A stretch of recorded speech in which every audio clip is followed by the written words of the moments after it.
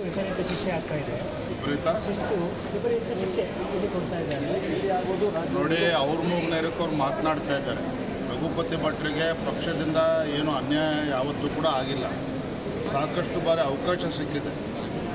ಸಾಕಷ್ಟು ಬಾರಿ ಅವಕಾಶ ಸಿಕ್ಕಿದೆ. ಇನ್ನು ಅನೇಕರಿಗೆ ಇನ್ನೂ ಕೂಡ ಅವಕಾಶ ಸಿಗಬೇಕಾಗಿದೆ. ಅವಕಾಶ ಸಿಕ್ಕಂಥವ್ರಿಗೆ ಸಿಗಬೇಕು ಅಂತ ಹೇಳಿದ್ರೆ ಅದು ಸರಿಯಲ್ಲ. ಅವ್ರ ಬಗ್ಗೆ ಇನ್ನೇನು ಹೆಚ್ಚೇನು ಮಾತನಾಡೋಕ್ಕೆ ಹೋಗೋದಿಲ್ಲ. ಯಾವುದೋ ಗೆಲ್ತೇನೆ ಅಂತಕ್ಕಂಥ ಭ್ರಮೆನಲ್ಲಿ ಅವರು ಏನಿದ್ದಾರೆ, ಇವತ್ತು ನಮ್ಮ ಪಕ್ಷದ ಸಂಘಟನೆ, ನನ್ನ ಚಿಕ್ಕಮಗಳೂರು, ಮೂಡಿಗೆರೆ ಇವತ್ತು ಮಂಗಳೂರು ಮುಗಿಸ್ಕೊಂಡು ಇವತ್ತು ಉಡುಪಿಗೆ ಬಂದಿದ್ದೇನೆ. ನನಗೆ ಸಂಪೂರ್ಣ ವಿಶ್ವಾಸ ಇದೆ. ನಮ್ಮ ಅಭ್ಯರ್ಥಿಗಳಾಗಿರ್ತಕ್ಕಂಥ ಡಾಕ್ಟರ್ ಧನಂಜಯ ಸರ್ಜಿಯವರು ಇವತ್ತೆಲ್ಲರ ಆಶೀರ್ವಾದದಿಂದ ಇವತ್ತು ನಮ್ಮ ಅಭ್ಯರ್ಥಿ ಆಗಿದ್ದಾರೆ. ಇವತ್ತೇನೋ ನೈಋತ್ಯ ವಲಯದ ಇವತ್ತು ಒಂದು ಗ್ರ್ಯಾಜುಯೇಟ್ಸ್ ಏನಿದ್ದಾರೆ, ಪದವೀಧರ ಏನಿದ್ದಾರೆ, ಅವ್ರಿಗೆ ಆಶೀರ್ವಾದ ಮಾಡ್ತಾ ಇದ್ದಾರೆ.